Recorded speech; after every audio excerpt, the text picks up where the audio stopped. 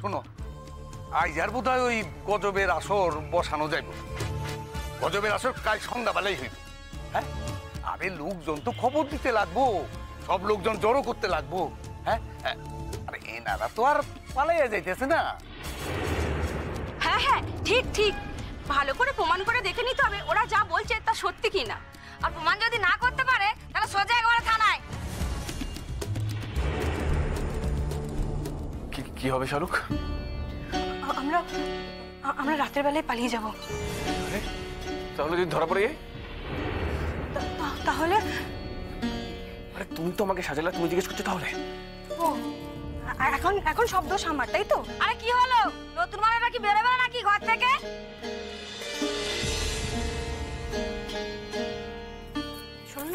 এসব কথা নিয়ে না পরে ভাবা যাবে। আমরা সময় পাবো পরে এসব নিয়ে ভাবো এখন এখন যদি দরজা খুলতে বেশি দেরি হয় ওরা আরও সন্দেহ করবে। এখন চলো তুমি চলো। দেখুন সম্পূর্ণ এপিসোড জি ফাইভে বানিয়ে বানিয়ে বেশি কথা বলতে পারো তো? বানিয়ে বানিয়ে কিছুই বলিনি। একটু ভালো করে ভেবে দেখো সব সত্যি কথাই বলেছি। কইতাছে ওই কানে কানে গুস গুস করে কি কইতাছো আ? না ওই আসলে উনি বলছেন ওনার একটু খিদে পেয়েছে। আসলে একবারে বেশি করে খেতে পারে না তো তাই। ও হ্যাঁ তো বটেই এই পীরের মতো মানুষ আছে আমাকে গায়ে। হ্যাঁ এনার তো সেবা আমাকে করতেই হইব। এ, কাম করো না যাও ওই গিয়া এক গ্লাস গরম দুধ লই আসে এনার লাগে। আমি এক্ষুনি যাচ্ছি না না ঠিক আছে অত তাড়াহুড়োর কিছু নেই। আমি আবার কখন এই কথা বললাম? আমাকে খুব কেস খাওয়াচ্ছ তো? এই একদম এসব কথা বলো না এসব কথা বললে না সঙ্গে সঙ্গে থানায় নিয়ে চলে যাবে। আবার কি কথা হইতেছে দুজনের? কি হলো? তোমরা কি সবসময় এরকম কানের কাছে গুজগুজ করে কথা বলো নাকি? আর বলবেন না মা বকছে আমাকে। বলছে তুমি খিদের কথা বলতে গেলে কেন? ঘরে তো একটু মুড়ি ছিল আমাকে মুড়ি দিয়ে দিতে পারতে। এনারা আমাদের আশ্রয় দিয়েছেন খেতে দিচ্ছেন। আবার তার উপরে দুধের পায় না ছি ছি ছি ছি। অমন কথা কৌনের কি আছে? আপনি হইলেন গিয়া পীর মানুষ। আপনারে খাওয়ামু না তো কারে খাওয়ামু?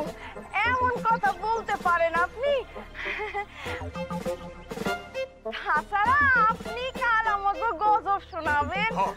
কত লোক আইব কত ধ্যান দান হইব? তাহলে আপনার কত খাতির হবে কোন? কালি কেন? এই কাল কি অসুবিধা আছে নাকি? হ্যাঁ না মানে আপনার লোকে তো কথাই ছিল, যখনই আমাকে গজব টজব শোনানোর ইচ্ছা জাগবো, তখন আপনি আমাকে গজব শোনাইবেন। হ্যাঁ আপনার মতো এমন পীর মানুষেরই তো আমাকে গায়ে দরকার ছিল। আর তাছাড়া কতদিন তো আমরা গজব টজব শুনতে পাই না, আর এই লেগেই তো আমরা না না বলবেন বলবেন, কালই বলবেন। আসলে আমরা ভেবেছিলাম আজই হবে, তাই উনি বলছেন। আজ নয় সেই কাল। আরে না না। এত ধকল করে আজ আইলেন হ্যাঁ, আজ বরং একটু বিশ্রাম করে। কালকে আমরা গজব শুনব। সকল গিয়া নিমন্ত্রণ করব। দেখেন এই মাথা আবার যেন আমগো হেট না হয়। মানে সকলে নিমন্ত্রণ করুন তারা তো গজব শুনতে আইবো। আর আইয়া যদি শুনতে না পায় তাইলে কিন্তু না না আপনি একদম নিশ্চিন্ত থাকুন। কে বলেছেন? উনি উনি গজব শোনাবেন না। ওর মতন গজব আর কেউ শোনাতে পারে না। আমি অন্তত ছেলে তো ছোট নয় কমলিনী। সে যদি নিজে থেকে স্ব ইচ্ছে কারোর সঙ্গে চলে যায় তাহলে তাকে ফিরিয়ে আনার সুযোগ আমার থাকে কি? আমি একটা কথা কিছুতেই বুঝতে পারছি না। আবির এত বড় একটা বোকামি কি করে করল? আবিরের কি কোনো কালে খুব বেশি বুদ্ধি ছিল? সাংসারিক বুদ্ধি তো আবিরের কোনোদিনই ছিল না ছোটন। তা না হলে শালুকের মতো একটা মেয়েকে বিয়ে করে বাড়িতে অ্যাটলিস্ট নিয়ে আসতো না। আর সেখানেই তো শেষ না। বেশ, তুই শালুকের সঙ্গে বিয়েটা ভেঙে দিয়ে ঐশ্বর্যকে বিয়ে করলি। তো ওর সঙ্গে মনটা টিকিয়ে থাক। একেতেই তোর এত বড় একটা বিপদ ঘটেছে, তার মধ্যে কি করে ঐশ্বর্যকে ছেড়ে দিয়ে শালুকের কথায় ভুলে গিয়ে তুই শালুকের সঙ্গে আবার চলে যেতে পারলি?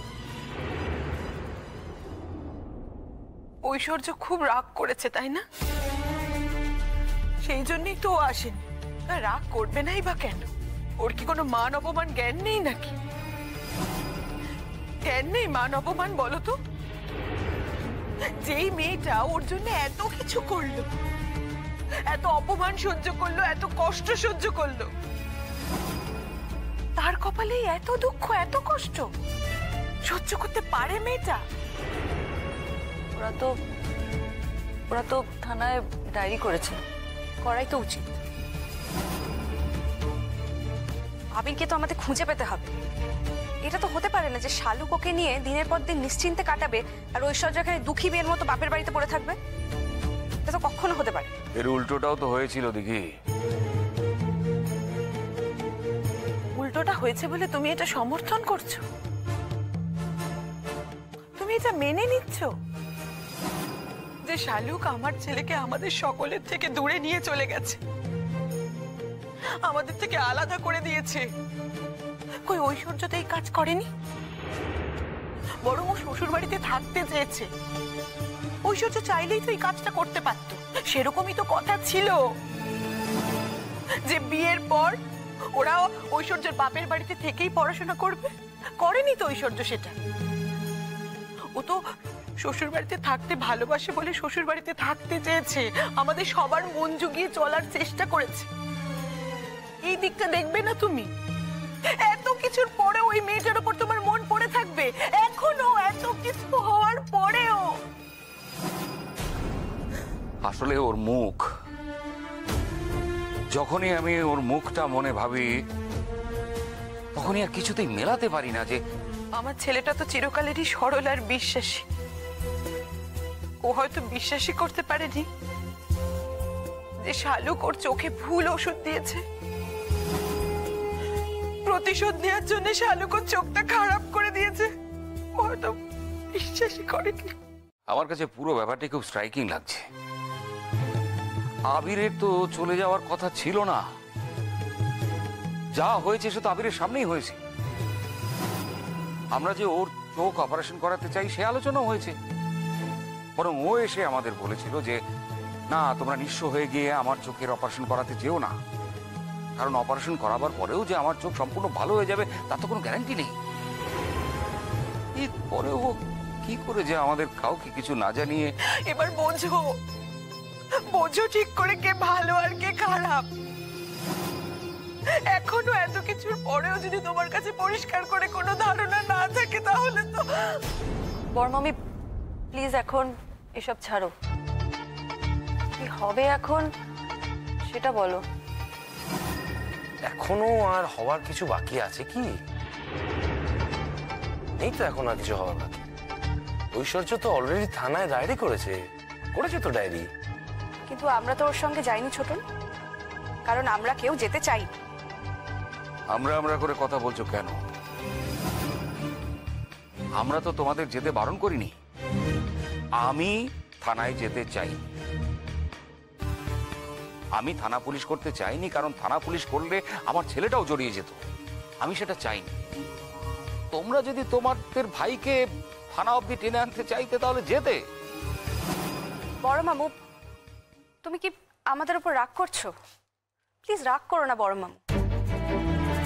আমরা কিন্তু আবিরকে যাতে থানায় টেনে এনে পুলিশ শাস্তি দেয়, তার জন্য থানায় ডায়েরি করতে যেতাম না।